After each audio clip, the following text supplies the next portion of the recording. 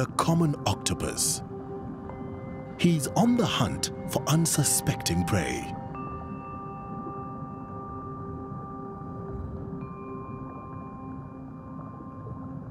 In this environment, the octopus is a lethal predator.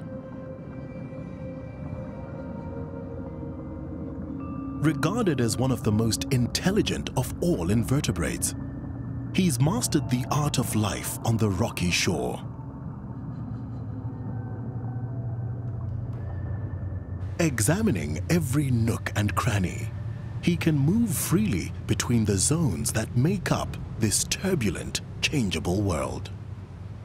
Armed with eight dexterous tentacles, lined with powerful suckers, he poses a huge threat to his smaller invertebrate neighbors. While most of his mollusk relatives have developed hardy shells to protect them in this environment, the octopus has traded this security for the ultimate mobility and agility.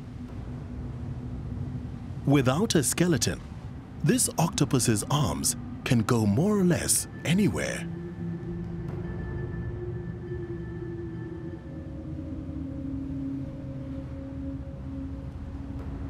He avoids getting tangled thanks to a special chemical produced by his skin, which sends a message to his suckers, preventing them from clinging onto any part of his body.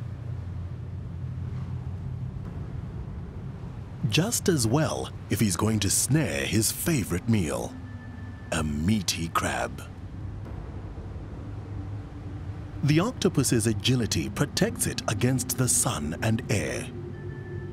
It can keep itself moist simply by sliding into the nearest pool.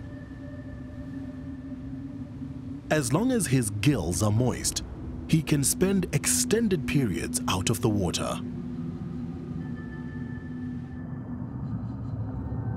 He is a master of camouflage, thanks to his skin.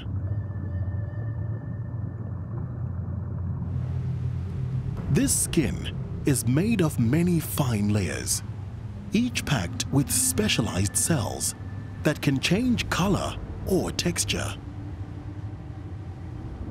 Even more remarkable, the skin itself can sense changes in light and shade, thanks to light-sensitive cells.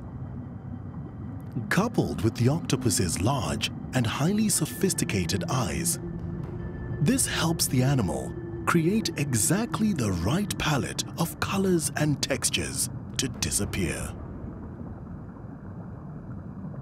Soon, that complex cloak of invisibility will pay off. The rising tide is sweeping over the platforms and reclaiming rock pools opening the windows of opportunity for the lurking predators.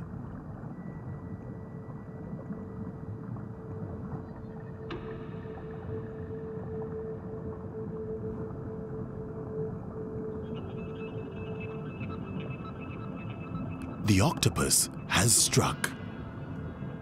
The crab's fierce pincers are now rendered useless by the octopus's suckers. Disarmed and immobilized, the crab will not escape from this death grip.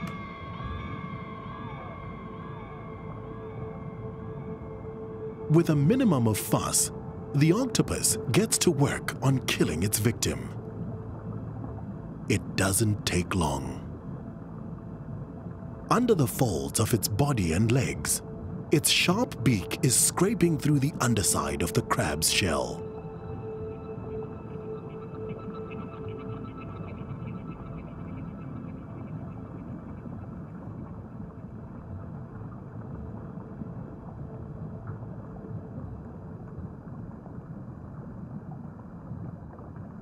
The shell, pulled in half and eaten clean, is carefully pushed to one side. At last, all that's left are disembodied remains and a very satisfied octopus.